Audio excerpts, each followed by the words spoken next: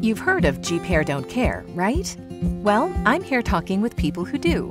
Care, that is. Welcome to Jeep Hair We Care. Hi, I'm Kelley Buttrick, and I am here with my dear friend and amazing voiceover talent, Joey Schaljo, all the way from New York City. Yeah. This is your first time getting Jeep Hair on. yes, it's been incredible. I love it. Great, and we are driving by a cow field, so it doesn't smell so incredible right now. But Joey, will you please tell me a little bit more about what you and your family care about?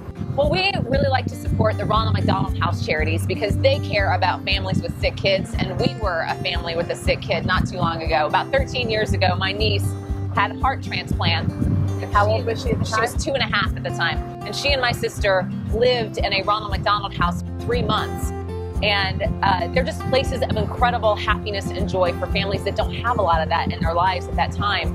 Um, and so we love to show our support because they helped us out so much through their pop tab program. We rip off the pop tabs on pop cans and uh, deliver them to the houses, and then they exchange that aluminum in for money, and it helps fund the house to continue the benefit for other families. That's wonderful. Go pop tab. Hey, thanks for watching Jeep Hair We Care. Here's some more information.